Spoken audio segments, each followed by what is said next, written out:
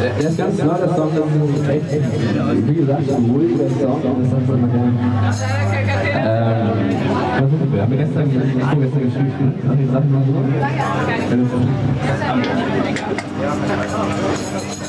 Es gibt eine Aufnahme, wir wissen noch nicht mehr, wenn ich spiele.